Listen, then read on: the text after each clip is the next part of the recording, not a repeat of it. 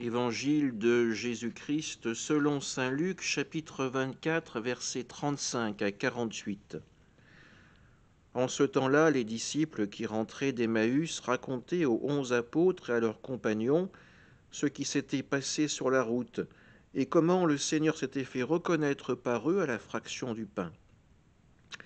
Comme ils en parlaient encore, lui-même fut présent au milieu d'eux et leur dit La paix soit avec vous.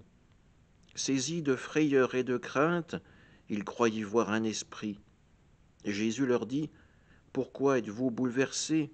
Et pourquoi ces pensées qui surgissent dans votre cœur? Voyez mes mains et mes pieds, c'est bien moi.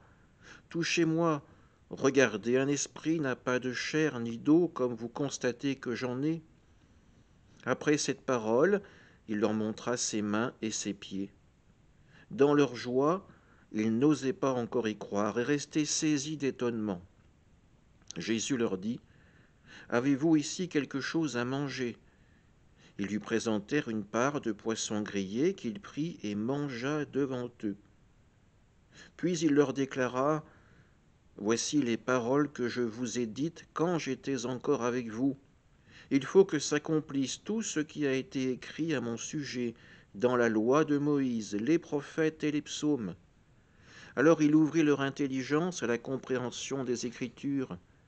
Il leur dit, Ainsi est-il écrit que le Christ souffrirait, qu'il ressusciterait d'entre les morts le troisième jour, et que la conversion serait proclamée en son nom pour le pardon des péchés à toutes les nations, en commençant par Jérusalem. À vous d'en être les témoins. Acclamons la parole de Dieu. Jésus apparaît aux onze apôtres ainsi qu'à leurs compagnons. La nouvelle de sa résurrection leur est déjà parvenue par les femmes, par le signe du tombeau vide, par le témoignage des disciples qui reviennent d'Emmaüs. Et à présent, c'est Jésus lui-même qui leur apparaît et qui leur parle. La paix soit avec vous. On peut imaginer le soulagement des apôtres quand ils entendent ces mots la paix soit avec vous. Ces mêmes apôtres qui avaient juré fidélité à Jésus et qui se sont enfuis quand on est venu l'arrêter. Ces hommes qui ont pris leur distance, qui l'ont renié quand on a crucifié leur maître. Pourtant, dans sa bouche, aucune parole de haine, aucune parole de rancœur, mais l'annonce de la paix. La paix soit avec vous, la paix même de Dieu vous accompagne.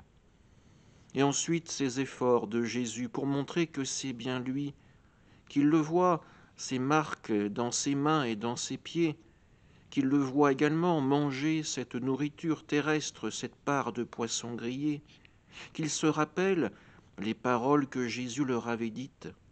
Oui, c'est bien lui qui est présent devant eux à cet instant, et c'est lui encore une fois qui leur donne la mission, qui leur donne cette espérance à aller apporter aux hommes.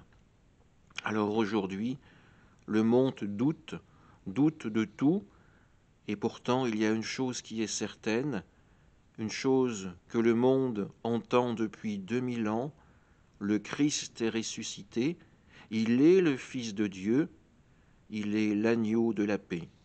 Amen.